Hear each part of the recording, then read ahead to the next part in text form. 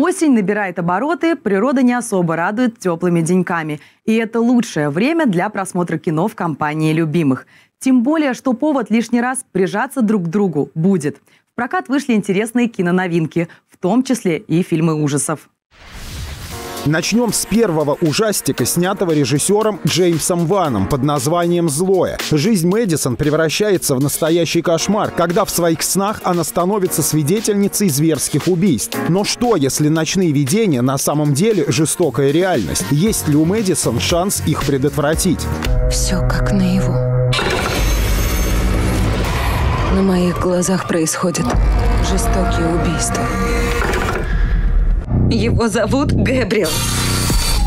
Он как-то связан с моим прошлым. Еще одна новинка – леденящая кровь от режиссера Дэвида Брункера под названием «Дом на другой стороне». После внезапной смерти мужа скорбящая вдова разбирает его вещи в загородном доме на берегу озера, где начинает замечать всякие странности. Сначала женщина грешит на призраков, но вскоре выясняется, что у муженька от нее были секреты.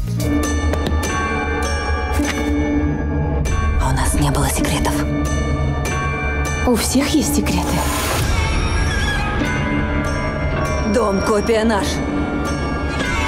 Но наоборот. Что он вообще творил?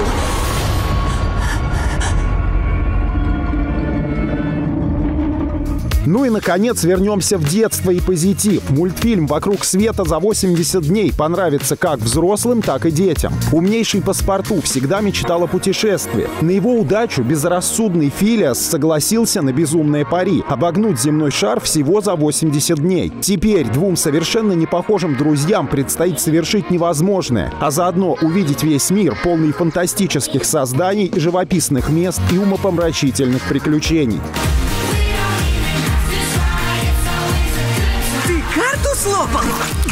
Может первоклассный исследователь съесть карту?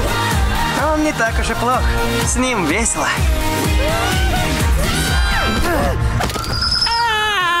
Желаем отличного просмотра и классных выходных.